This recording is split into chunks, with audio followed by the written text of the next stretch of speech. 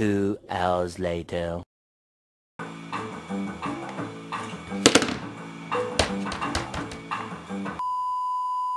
One eternity later.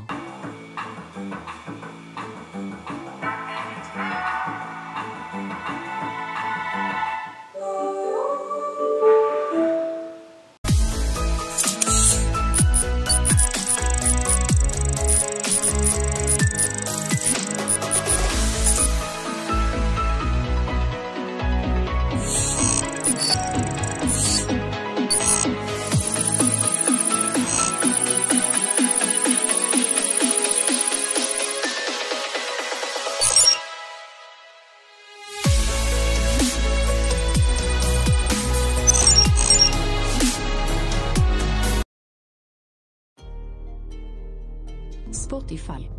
Okej. Varför måste jag betala 99 kronor varje månad för att få lyssna på musik? Är det verkligen värt? Nu har du två alternativ. Alternativ 1 är att skaffa gratis konto hos Spotify men då måste du få titta på reklam efter varje låt. Alternativ 2 är att köpa Spotify Premium och då får du betala 99 kronor per månad. Så, nu är det min tur att visa er hur kan man skaffa Spotify Premium gratis.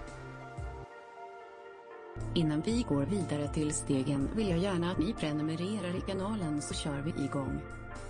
Kom ihåg nu att ta bort Spotify som du har nu från din mobil. Steg 1. Ladda ned appen från länken i beskrivningen. Steg 2. Installera appen i din mobil.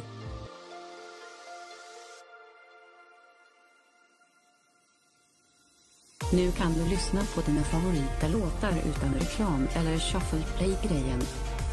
Tack för att ni kollar. Ses i nästa video.